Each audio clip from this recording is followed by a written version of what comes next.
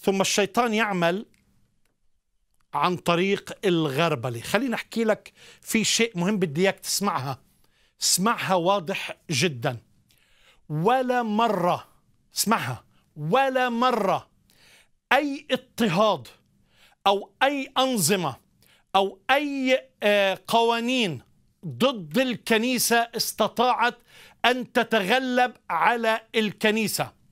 بل بالعكس على مر العصور والأزمان حاولوا يتخلصوا من الكتاب المقدس حاولوا يتخلصوا من المسيحيين من بداية المسيحية حاولوا بكل أنواع وسائل اضطهاد أطعموهم للوحوش وضعوهم على صلبان أحرقوهم وفعلوا ما لا يفعل بهم. لكن الكنيسة زادت وانتشرت بدون ما ترفع سيف بدون ما تغزي. بدون ما تأخذ سبي بدون أي وعود بشرية من نساء و... وأنهار وإلى آخره. لا لا.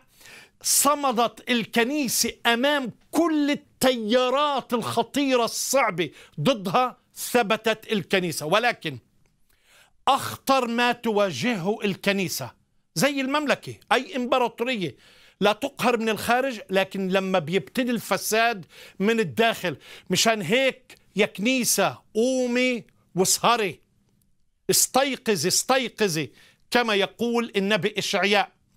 أحبائي إن الخطر الأكبر على الكنيسة من جوا لما بيبتدي الشيطان يعمل بالداخل والكنيسة مش صاحية فاترة نايمة غير مستيقظة.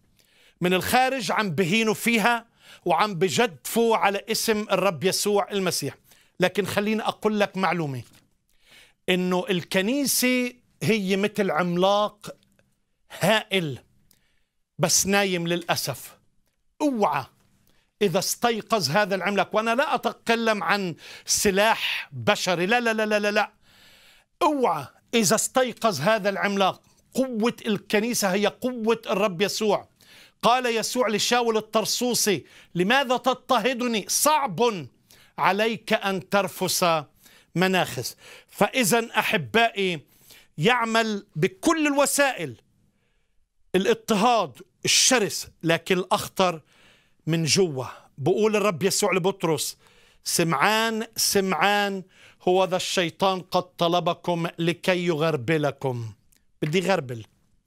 أنا طلبت لأجلك لئلا يفنى إيمانك. فالشيطان هو الذي يزرع الزوان وبينما المزارع نايم. بيجي بالليل بيزرع مع القمح الزوان. في يوم في الحصاد رح يبين القمح بحطوه في مخازن والزوان رح يحرق بالنار.